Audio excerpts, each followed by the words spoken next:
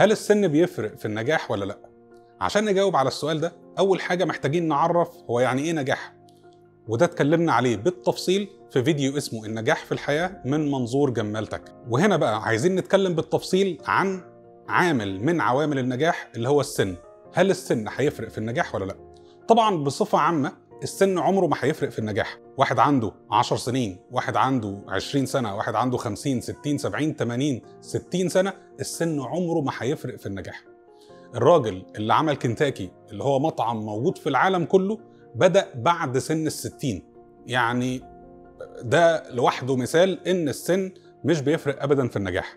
في جمالتك شعارنا هو الاستفادة القصوى من الإمكانيات البشرية.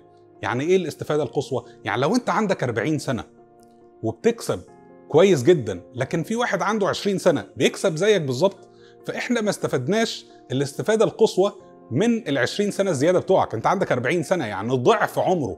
يعني أكيد عندك معلومات أو عندك خبرة في حاجة الحاجة دي لو أضفتها ليك هتكسب أكتر. فإحنا عايزين نشوف بالظبط هو السن بنستفيد بيه إزاي. يعني مش مش مجرد إن أنت عايش كويس وبتكسب كويس يبقى خلاص دي مش الاستفادة القصوى. الاستفادة القصوى أنا عايز كل معلومة موجودة عندك وكل خبرة مريت بيها في حياتك تستفيد بيها عشان تكسب أكتر. تعال نقول مثال بسيط. لو إحنا قلنا إن في ولد اتولد في فرنسا وولد اتولد في مصر.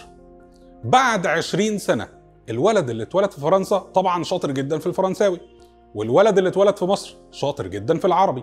لو جبنا الولد اللي اتولد في مصر وقعدنا نعلمه فرنساوي تفتكر إن بأي حال من الأحوال الولد ده هيقدر يتعلم فرنساوي بالظبط زي الولد اللي اتولد في فرنسا؟ استحالة.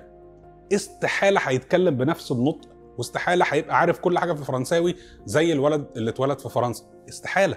مع إن نفس الراجل ده اللي عنده 20 سنة ده اللي مش عارف يتكلم فرنساوي كويس ده لو رجع بيه الزمن واتولد في فرنسا هيتكلم فرنساوي عادي كويس. يبقى هنا إيه؟ يبقى أنا عارف إن السن الصغير بيتعلم أحسن من الكبير. ودي حقيقة لازم نكون مقتنعين بيها عشان نقدر ننجح. أنا لو مش عارف الحقيقة مش هعرف أنجح.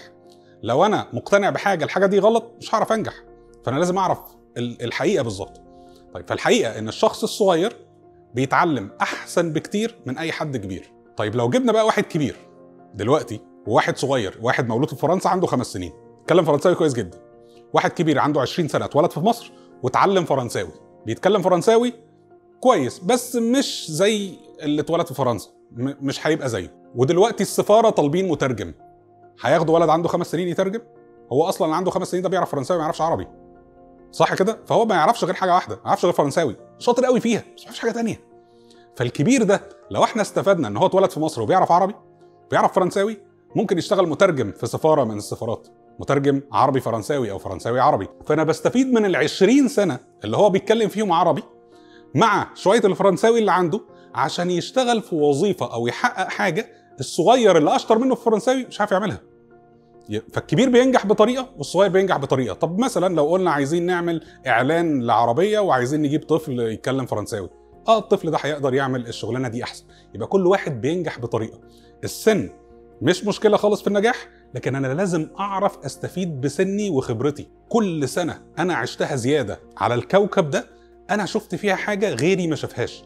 لازم أستفيد بيها عشان أنجح. لو رجعنا مثلا لمثال الراجل بتاع كنتاكي الناس كلها بتضرب بيه المثل راجل فوق الستين عمل سلسلة محلات في العالم كله.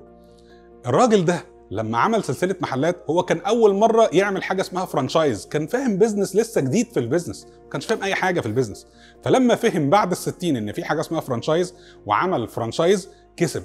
طب معلش هو ال سنة بقى كان بيعمل فيهم إيه؟ كان بيطبخ. الراجل ده اتعلم الطبخ وعنده سبع سنين. كان شاطر جدا في الطبخ.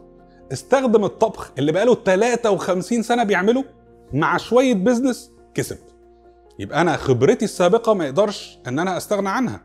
الكلام ده أنا شرحته بالتفصيل في فيديو اسمه البرمجة بعد سن الأربعين. عشان لو حد سنه كبير شوية حب إن هو يدخل مجال البرمجة إزاي يستفيد من الخبرات السابقة اللي موجودة عنده عشان يكسب أكتر. مش معقول يبقى عندك 40 سنة داخل مجال البرمجة وتكسب أو تاخد مرتب زيك زي واحد عنده 20 لازم تستفيد بالمعلومات الزيادة اللي أنت اكتسبتها على مدار ال 30 40 سنة اللي قبل كده وانت داخل المجال الجديد. وفي جمالتك بعد ما تخلص دراسة على الموقع وتيجي تمتحن هنا جزء من الامتحان عبارة عن مشروع. انت لازم تقدم مشروع تخرج عشان تنجح في جمالتك.